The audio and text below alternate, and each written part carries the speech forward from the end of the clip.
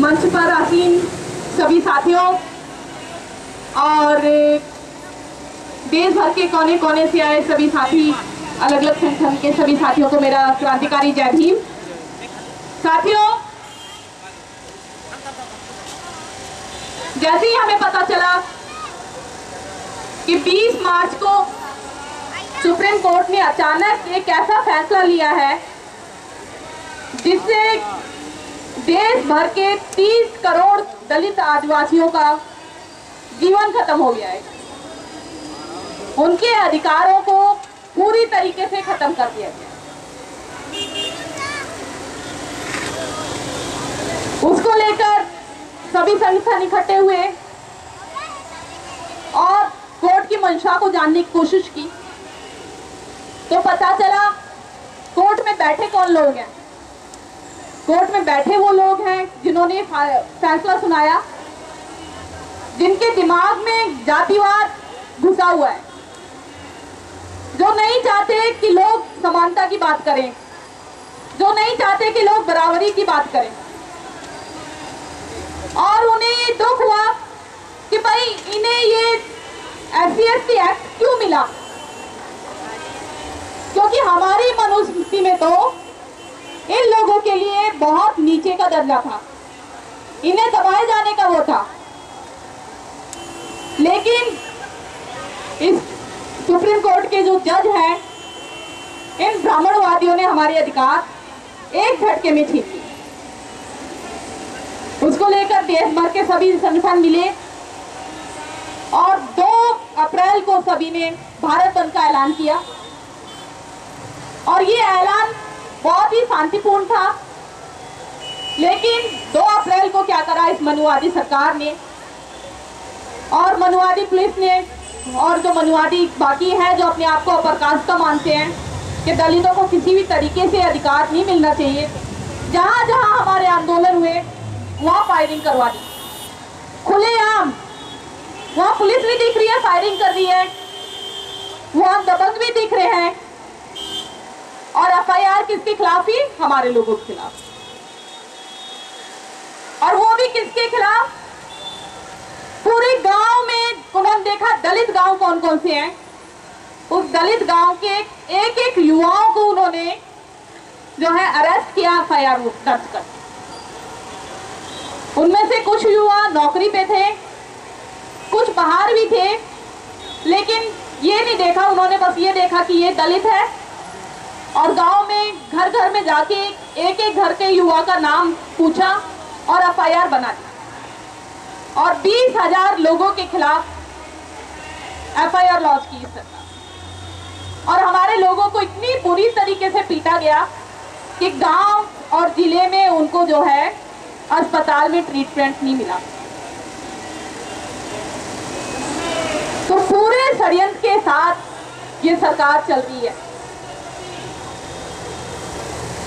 यानी कि अपनी आवाज़ भी हम लोग नहीं रख सकते। अपने अधिकारों के लिए हम सड़क पे आए, चुपचाप आए, शांतिपूर्ण तरीके से आए। लेकिन तुम वो शांति से भी नहीं कर सकते, हमारे पुलिस वाले बैठे हुए हैं, डंडा लेके तुम्हें पीटने के लिए। और साथियों, आपने देखा होगा,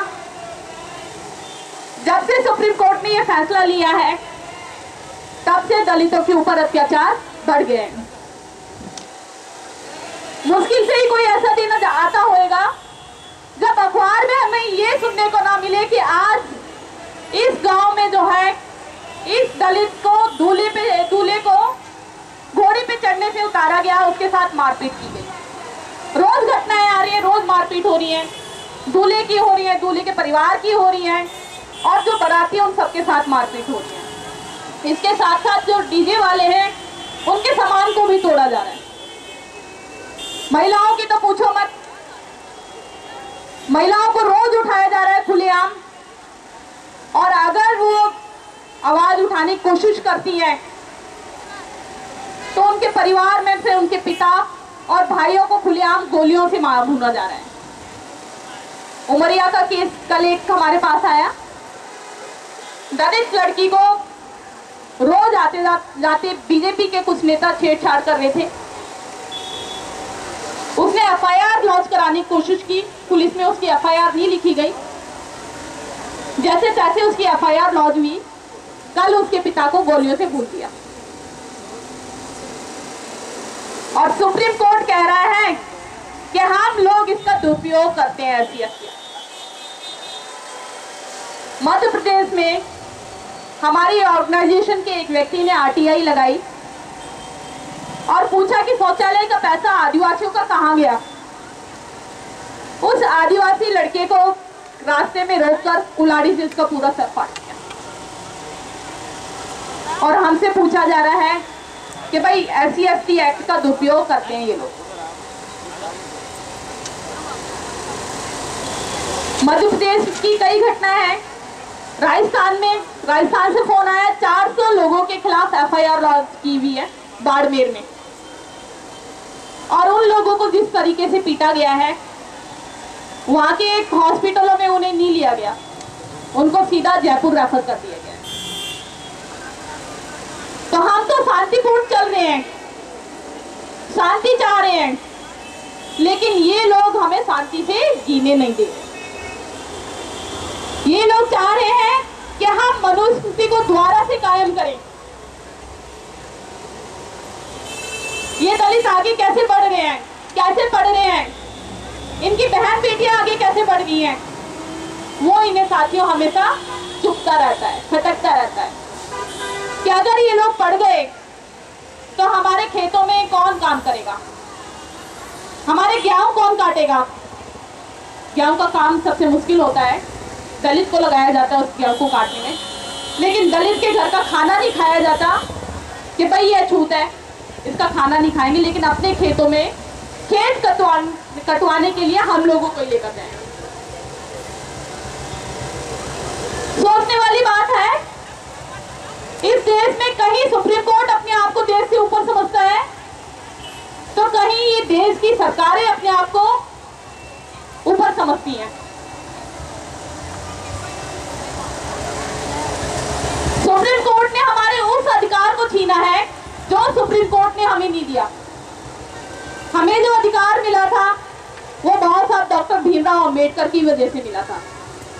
ना कि सुप्रीम कोर्ट के किसी यूयू ललित नाम के जज द्वारा। लेकिन वो अधिकार इन्होंने छीन लिया।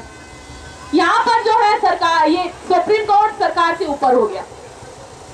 और वहाँ हमारे एक भाई चंद्रशेखर को, जिसे कोर्ट ने रिहा कर दिया था, लेकिन इस मनुवादी सरकार ने उसके ऊपर रासुका लगा दी।